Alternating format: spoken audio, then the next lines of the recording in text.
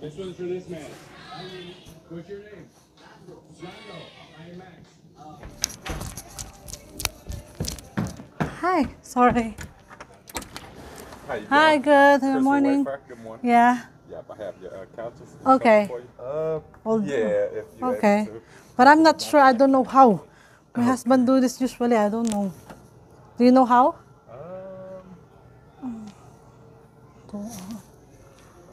Um, There you go. And then open it. Okay, there you go. yep. Starlight, star bright. Ah. Ating couch. Just put it over here. O mga chaps, dumating na yung in-order natin na bagong couch. Medyo nahirapan silang iakyat dito sa hagdanan kasi nga naman madam. Ayan. So, pasok tayo habang Tignan mo naman yung aming isang inflammable tea. Nanginginig pa rin si Frozen. So, pasok tayo sa aming tahanan. Medyo magulo pa.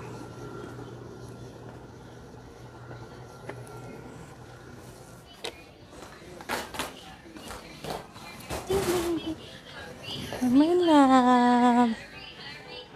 Hi. You okay? Yeah. Mm-hmm.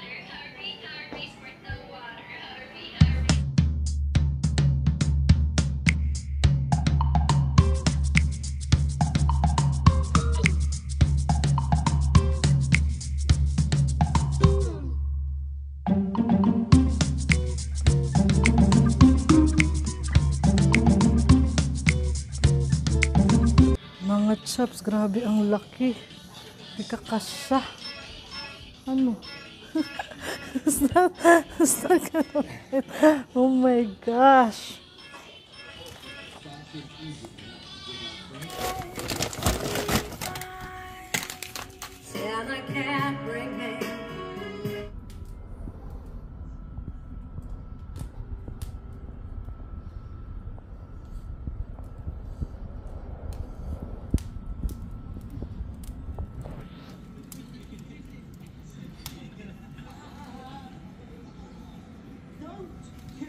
Hello mga chaps. So, kanina din-deliver yung bago natin couch.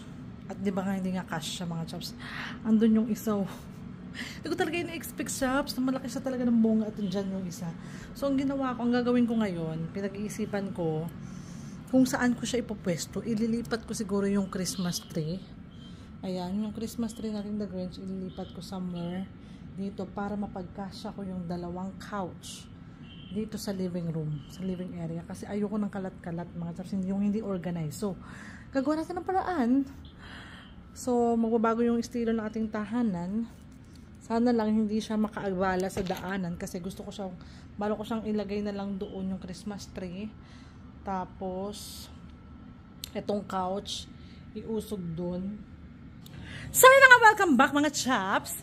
At, ayun na, is, Naayos ko na. At ito ang kanyang final look. Dito ko siya nilagay. Panoorin niyo.